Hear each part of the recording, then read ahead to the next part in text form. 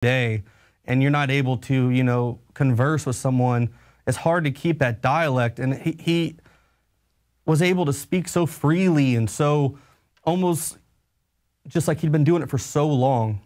I, that's what I found to be a little odd. Really? Well, you know, I can't I can't answer that. I just know that that um, I think that they were going to do everything they could to get their son home.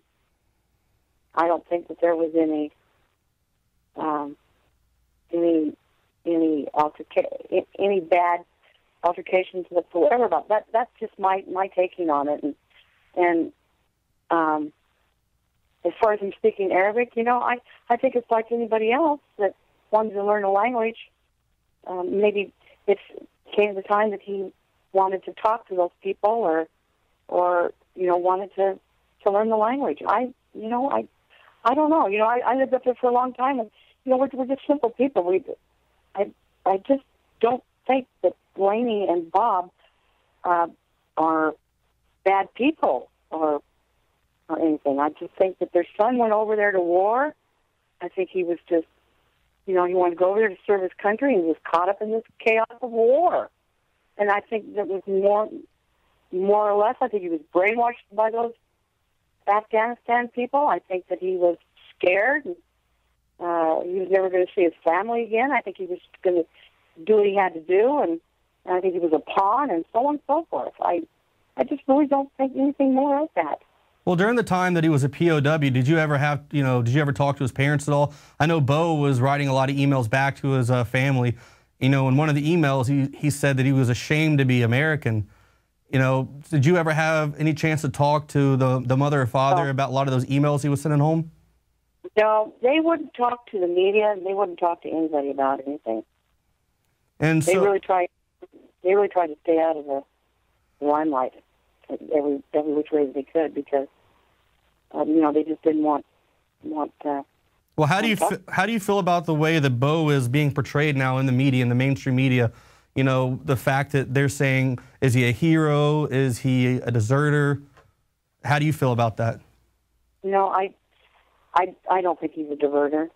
I just like I told you, I think he I think he was just a scared uh, young man that went over there to, and was caught up in the war.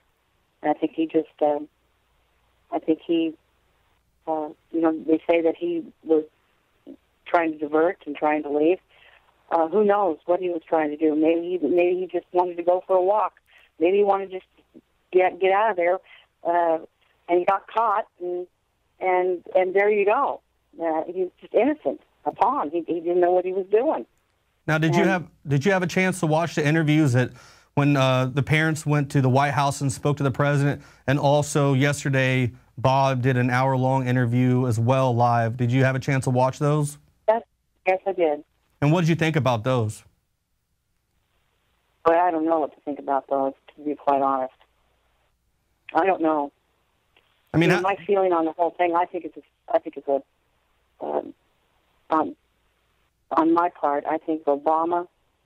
I think he's just doing this to make him look good. I don't think it's right what what he was doing. I don't I don't think it's right at all. I think I think he's using the uh, Bowe and his family to make him look good. And how so? How That's do you think that? How do you think that he's doing that? How's the spin on that?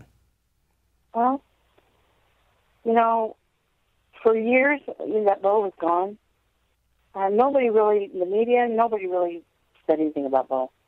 Only up here in, in the in the Idaho area, you know, we, we kept saying bring Bowe home, and you know the the, the media would, would get a hold of it a little bit and, and, and play on it, and that was it. But for years, nothing was said about Bowe. And then all of a sudden, all of a sudden, you know, Bowe's released. He's being accused of all this. And, and sure, you know, those those terrorists, they're they're terrible people. There's no doubt about it. Well, in 2010, there was a article that said that Bowe had converted to Islam, and this is what the Taliban say, and that he had taught them how to make explosive devices, and that he had changed his name to Abdullah. Do you know anything about that as well? Did you ever hear the parents talk no. about that? No, like I said, the parents didn't talk about anything about that. And as far as that goes, yeah, he probably he probably was forced into doing that. That's my thoughts on it. I don't think he was. Um, Do you think that uh, Bob, the father, uh, converted to Islam as well? no, No. I don't. All right, Susan. Well, thanks for being on here. Do you have anything else you'd like to add? Anything else you'd like to say about this story? I think the Bowe. It. I think Bowe. Like there again, I think Bowe is just being used as a pawn. I think he.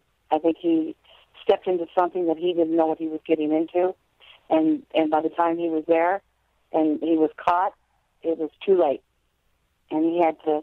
I mean, if anybody was going to be caught in a situation like that, I think I think he'd do probably the same things that he he had to do, and and he got to come home and and because I know that he thought he never was going to see his parents again, his family, his friends, or his home. I think he's just scared. Once again, thank you, Susan, for being here and sharing your story with us. I appreciate it a lot. Thanks for being on InfoWars. Oh yeah, thanks a lot. All right, stay tuned weeknight, 7 p.m. Central. Also, if you like the news, please make sure you go to prisonplanet.tv. Your username and password can be shared with up to 10 people. This has been the InfoWars Nightly News.